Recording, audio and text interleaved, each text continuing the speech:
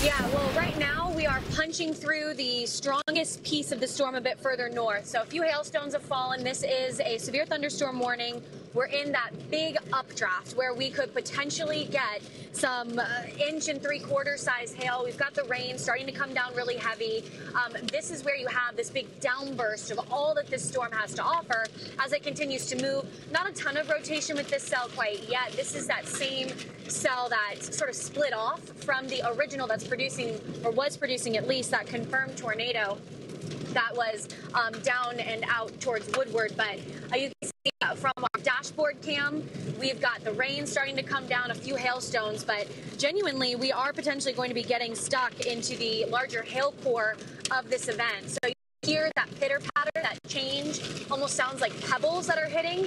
Uh, that's what would be the initial pea-sized hail, but it's only expected to get worse. Um, I'm not sure if we could throw up some radar as well. You can see that live image, but also the radar image. Um, you can see just kind of where the, the car is in location to where the strongest piece of this storm is, the strongest updraft. Very heavy rain coming down right now. Um, hard to really maybe hear me at, at times, uh, but you can see it's that Englewood, Kansas cell. It's kind of generally where we're at, riding that border. We're actually towards Ashland, so that's where uh, Brandon Copic is out in Englewood.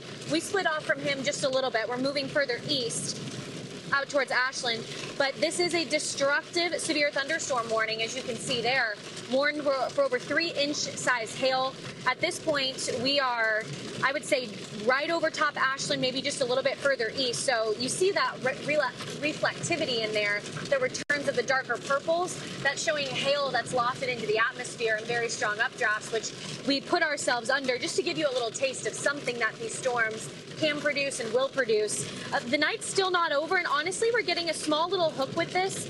Um, just looking at it, there is a little bit of vorticity. This is up in the atmosphere, uh, but there is a little bit of rotation going on. So this storm could be entering a favorable environment. We are just now heading back into that level four out of five threat zone for central Kansas.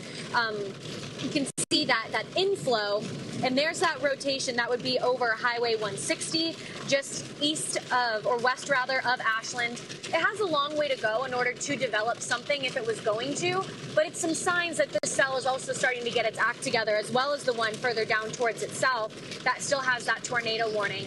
Uh, we've got multiple severe thunderstorm warnings in and around us. I mean, if you just look at that broader picture, it's the entire line, a bit hit or miss at times, especially near that surface low. We knew that was going to be a big producer of potentially a confirmed tornado, and that's definitely what we saw. But overall, you have that rotation with this storm near Ashland.